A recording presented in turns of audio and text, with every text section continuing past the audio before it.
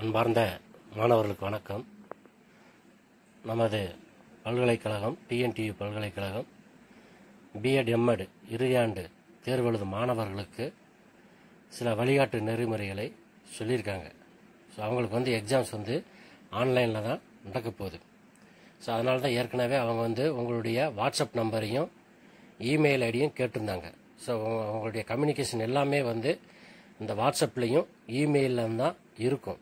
So அதனால் வந்து எல்லாருமே தவறாமல் உங்களுடைய வாட்ஸ்அப் நம்பரையும் இமெயில் ஐடியும் கொடுத்துருங்க. ஸோ ரெண்டுமே ஒர்க் ஆகுதானும் பார்த்துக்கோங்க வாட்ஸ்அப் நம்பரும் இமெயில் ஐடியும் ஒர்க் ஆகுதான்னு ஒரு தடவைக்கு ரெண்டு தடவை நல்லா செக் பண்ணிக்கோங்க.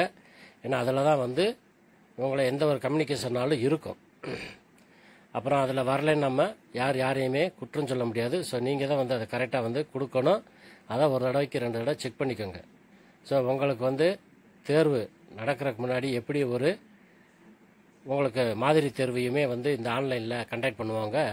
அனைத்து கல்லூரிகளும். ஒவ்வொரு கல்லூரியிலும் அவங்க கண்டக்ட் பண்ணுவாங்க. ஸோ அப்போ நீங்கள் அந்த மாதிரி தேர்வு எழுதும்போது என்ன மாதிரியான டிஃபிகல்ட்டிஸ் வருது அப்படிங்கிறத நீங்கள் தெரிஞ்சுக்கிட்டு ஸோ அடுத்து நீங்கள் ரியலாக எழுத போகக்கூடிய அந்த இருபத்தி மூணாந்தேதியிலேருந்து எழுத போகக்கூடிய அந்த தேர்வில் அதை வந்து நீங்கள் சரி பண்ணிக்கிறலாம் ஸோ அதுக்காகத்தான் இந்த ஒரு மாடல் எக்ஸாமையும் வந்து கண்டக்ட் பண்ண போகிறாங்க ஸோ இதை வந்து எப்படி பண்ணுறது அப்படின்னு பார்த்தீங்கன்னா உங்களுடைய இமெயில் ஐடிக்கு தான் உங்களுடைய கொஸ்டின் வந்து அனுப்புவாங்க. ஸோ பத்து மணிக்கு வந்து உங்களுக்கு அனுப்பிச்சிடுவாங்க ஸோ மூணு மணி நேரம் பரீட்சைனா பத்து டு ஒன்று ஒன்றரை மணி நேரம் பரீட்சைனாக்கா உங்களுக்கு பத்து டு பதினொன்றரை வரைக்கும் நடக்கும்.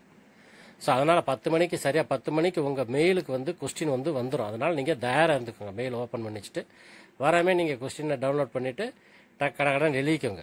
ஆன்சரை வந்து நீங்கள் எழுதலாம். ஸோ எழுதுவதற்கு நீங்கள் வந்து ஏ ஃபோர் ஷீட்டை தான் பயன்படுத்தணும்.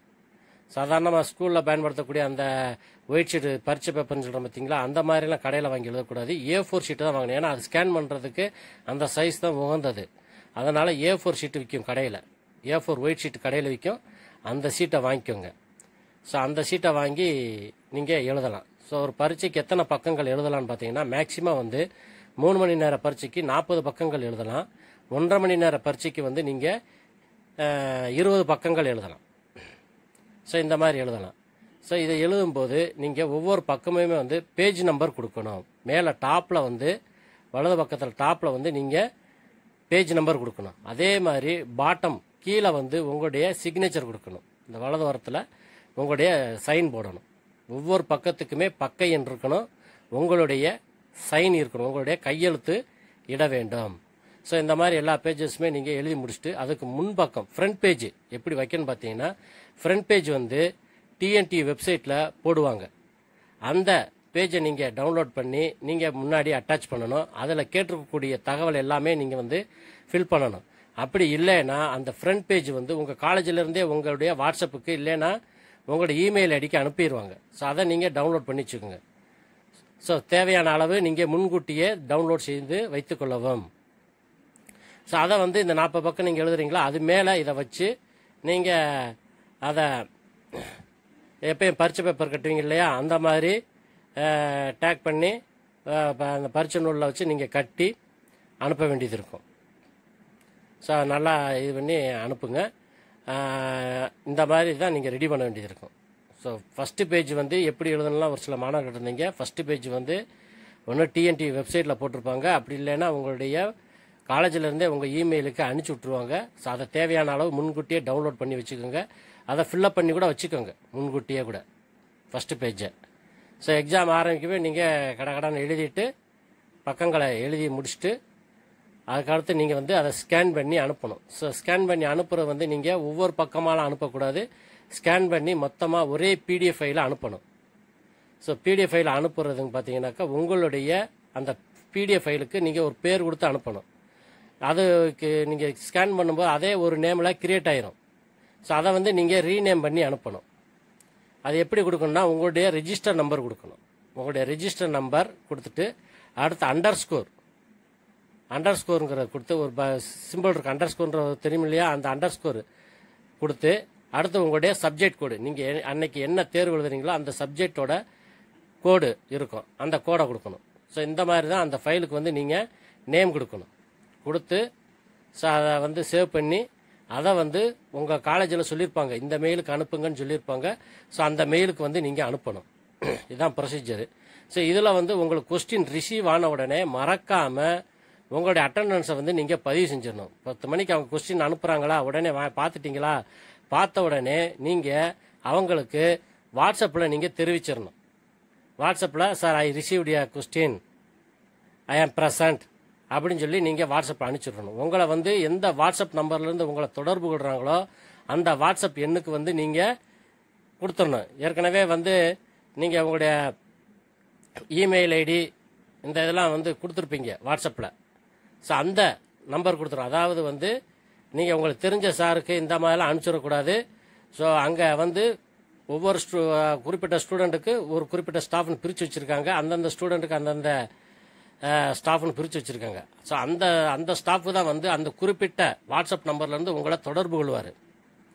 அதே மாதிரி வந்து கொஸ்டின் உங்களுக்கு அனுப்பிச்ச உடனே அவர் வந்து உங்களுக்கு ஒரு மெசேஜ் அனுப்பிச்சி விடுவார் கொஸ்டின் சென்ட் அப்படின்னு சொல்லி அனுப்பிச்சி விடுவார் ஸோ உடனே அந்த வாட்ஸ்அப் நம்பருக்கு நீங்கள் சாய் ரிசீவ்ட் ய கொஸ்டின் அப்படின்னு போட்டு ஐ ஆம் ப்ரெசன்ட் அப்படின்னு சொல்லி நீங்கள் ப்ரெசன்ட் பண்ண அந்த இதை சொல்லணும். சொன்னீங்கன்னா தான் உங்களுக்கு அன்னைக்கு அட்டண்டன்ஸ் விழுகும் இல்லைன்னா இவங்க ஆப்ஷன் போட்டுருவாங்க. நீங்கள் அட்டண்டன்ஸ் சொல்லாமல் நீங்கள் வாட்டு கடை கடன் பரீட்சை எழுதிட்டு கடைசியில் ஒரு மணிக்கு மேலே நீங்கள் இந்த தகவலெல்லாம் ஸ்கேன் பண்ணி அனுப்புனீங்கன்னா உங்களுக்கு அங்கே அட்டண்டன்ஸில் ஆப்ஷன் தான் இருக்கு இருக்கு. ஸோ அதனால் மறக்காமல் நீங்கள் கொஸ்டினை ரிசீவ் பண்ண உடனே உங்களுடைய ப்ரெசண்ட்டை வந்து நீங்கள் சொல்லிவிட்டு அடுத்து பரீட்சை எழுதுங்க. நல்லபடியாக எழுதி முடிச்சுட்டு அதை ஸ்கேன் பண்ணும்போது நீங்கள் வந்து அதனுடைய ரெசல்யூஷன் வந்து நூறு இல்லை நூற்றம்பதில் வைங்க அப்போனா தான் வந்து உங்களுக்கு அந்த ஃபைலோட சைஸ் வந்து எம்பி குறையும். ஒரு டூ எம்பியிலேருந்து அதிகபட்சம் ஒரு ஃபைவ் எம்பிக்குள்ளே தான் வரும். ஸோ அந்த மாதிரி இருந்ததுன்னா நீங்கள் இமெயிலில் வந்து அந்த ஃபைல் அட்டாச் பண்ணலாம். எம்பி அதிகமாக இருந்ததுன்னா உங்களுக்கு வந்து மெயிலில் அட்டாச் பண்ண முடியாமல் போயிடும் அதனால் கொஞ்சம் ரிசல்யூஷனை குறைச்சி நீங்கள் பண்ணி பண்ணிங்கன்னா அழகாக அட்டாச் ஆயிரும். ஸோ இந்த ப எல்லாம் எக்ஸாம் அனு அனுப்பிச்சு முடிச்சதுக்கப்புறம் கடைசி அந்த கடைசி நாளன்று கடைசி தேர்வு அன்னைக்கு நீங்கள் என்ன பண்ணணும்? இப்போ எழுதின அந்த அஞ்சு பேப்பரையுமே உங்களுக்கு எத்தனை பேப்பரோ அந்த அத்தனை பேப்பரையுமே வந்து ஒரு கவரில் வச்சு நல்லா பேக் பண்ணி ஸோ மேலே வந்து உங்கள் காலேஜ் அட்ரஸுக்கு அனுப்பிச்சி விட்ருவோம் உங்கள் காலேஜ் அட்ரஸ் சொல்லுவாங்க.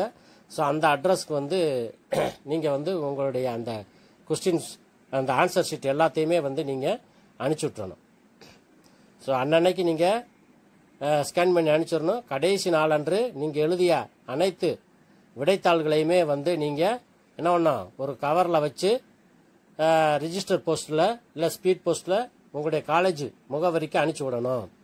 ஸோ காலேஜ் முகவரி சொல்லுவாங்க. அந்த முகவரிக்கு தப்பு தவறு இல்லாமல் அனுப்பிச்சி விட்றணும் ஸோ நீங்கள் ஸ்கேன் பண்ணி அனுப்பிச்சி விட்டதுக்கப்புறம் அந்த பேப்பரில் எந்த ஒரு கரெக்ஷனும் தயவு செஞ்சு செஞ்சிடாதீங்க. ஸோ அது உங்களுக்கு தான் வந்து சிக்கல மாட்டோம் ஸ்கேன் பண்ணும்போது என்ன இது இருந்ததோ அதே மாதிரில தான் அந்த ஆன்சர் ஷீட்டில் இருக்கணும். ஸோ ரெண்டையுமே வந்து வெரிஃபை பண்ணுவாங்க. ஸோ அதனால் வந்து நீங்கள் எழுதி முடிச்சதுக்கப்புறம் ஆன்சர் ஷீட்டில் தயவு செய்து எந்த ஒரு மாற்றமும் செய்யாதீங்க. ஸோ இப்போ சொன்ன இந்த வழிமுறைகளை வந்து தவறாமல் கடைபிடிங்க. இதில் உங்களுக்கு எதாவது சந்தேகம் இருந்ததுன்னா உங்களுடைய கல்லூரியை வந்து நீங்கள் தொடர்பு கொள்ளுங்க. முதல்ல உங்கள் வாட்ஸ்அப்பு இமெயில் ஐடியை வாட்ச் பண்ணிக்கோங்க. உங்கள் இமெயிலில் ஏதாவது மெசேஜ் வருதுன்னா அது உங்களுக்கு நோட்டிஃபிகேஷனை வர்ற மாதிரி வச்சுக்கோங்க. செல்லில் வந்து நோட்டிஃபிகேஷனை வர்ற மாதிரி செட் பண்ணிக்கிட்டீங்கன்னா உங்கள் மெயிலுக்கு ஏதாவது வந்ததுன்னு சொன்னால் நீங்கள் அதை பார்த்துக்கலாம். அதே மாதிரி நீங்கள் மெயில் சென்ட் பண்ணதுக்கப்புறம் அதை சென்ட் மெயிலில் போய் பார்த்துங்க செக் பண்ணிக்கோங்க. போயிருச்சா? நீங்கள் அனுப்புன மெயில் வந்து அங்கே போயிருச்சா? அப்படிங்கிற பார்க்குறதுக்கு சென்ட் மெயில் இருக்குது அதில் போய் பார்த்துக்கோங்க. ஏன்னா நீங்கள் அனுப்புனது ஒரு சில நேரம் போய் டிராஃப்ட்டில் போய் கூட உட்காந்துக்கரலாம் ஸோ அவங்க வந்து அங்கே வரல வரலன்னு சொல்லிக்கிட்டு இருக்கலாம். ஸோ அதனால் வந்து நீங்கள் நான் இதெல்லாம் முடிச்சிட்டேன் ஸ்கேன் பண்ணி அனுப்பிச்சிட்டேன் போயிருச்சு அப்படின்ட்டு தயவுசெய்து வந்துடுறாங்க அது சென்ட் ஆயிருச்சான்னு சொல்லி கன்ஃபார்ம் பண்ணிக்கோங்க. உங்களுடைய மெயிலில் செக் பண்ணி பார்த்துங்க. சரிமான தகவல் உங்களுக்கு பயனுள்ளதாக இருக்குமென்னு நான் நம்பிக்கிறேன் ஸோ அதே மாதிரி உங்களுக்கு இந்த உங்களுடைய தேர்வு நேரம் போக கூடுதலாக ஒரு மணி நேரம் கொடுக்கப்படும். இப்போ பத்து டு ஒன் ஒரு மணி வரைக்கும் உங்களுக்கு பரிச்சை இருக்குன்னு சொன்னால் அதுக்கப்புறம் ஒரு ஒன் ஹவர் தருவாங்க. அதை ஸ்கேன் பண்ணி உங்கள் அப்லோட் பண்ணுறதுக்கு இமெயிலில் அனுப்புறதுக்கு கூடுதலாக ஒரு மணி நேரம் தருவாங்க. ஸோ உங்களுடைய பரீட்சை டயத்திலே இதெல்லாம் பண்ணணுன்ற அவசியம் கிடையாது. புரியுதுங்களா? உங்களுக்கு பரீட்சை வந்து டென் டு ஒன்றுனா டென் டு ஒன்று வரைக்கும் நீங்கள் பரீட்சை எழுதிட்டு அடுத்து ரெண்டு மணிக்குள்ளே நீங்கள் வந்து இதை வந்து ஸ்கேன் பண்ணி அப்லோட் பண்ணிடணும் மெயிலுக்கு அதே மாதிரி ஒன்றரை மணி நேரம் பரீட்சைனா பத்து டு பதினொன்றரை வரைக்கும் உங்களுக்கு டைம் அடுத்து பன்னெண்டரைக்குள்ளே நீங்கள் வந்து இதை அப்லோட் பண்ணி விட்டுறணும். ஸோ இதான் வந்து உங்களுக்கு கொடுக்கக்கூடிய டைம் ஞாபகத்தில் வச்சுக்கோங்க. ஸோ பரீட்சை டைம் போக கூடுதலாக ஒரு மணி நேரம் தருவாங்க. எதுக்குன்னா இந்த ஸ்கேன் பண்ணி அனுப்புறதுக்காக. ஸோ இதில் மறக்காமல் இன்னொரு ஞாபகம் தெரிஞ்சுங்க ஏ ஃபோர் ஷீட்டில் தான் எக்ஸாம் எழுதணும். இப்போ ஃப்ரண்ட் பேஜ் வந்து டவுன்லோட் பண்ணி எடுத்துக்கணும். இல்லைன்னா உங்கள் மெ மெயிலுக்கு வரும். அதையெல்லாம் ஃபில்லப் பண்ணி முன்கூடியே வச்சுக்கோங்க. ஸோ ஒவ்வொரு பக்கத்துக்கும் மேலே வந்து பேஜ் நம்பர் கொடுத்துருங்க. அதே மாதிரி கீழே வந்து ஒவ்வொரு பக்கத்துக்கும் உங்களுடைய சைனை போட்டுருங்க. அதே மாதிரி கொஸ்டினை ரிசீவ் ஆன உடனே நீங்கள் வந்து உங்கள் கல்லூரி முதல்வருக்கு உங்களுடைய ப்ரெசண்ட்டுங்கிறத சொல்லிடுங்க நீங்கள் வந்து ப்ரெசண்ட் ஆயிருக்கீங்க அப்படிங்கிறத சொல்லுங்கள் கொஸ்டின் ரிசீவ்னு சொல்லி சொல்லிடுங்க அப்போனா தான் உங்களுக்கு ப்ரெசன்ட் விழுகும்.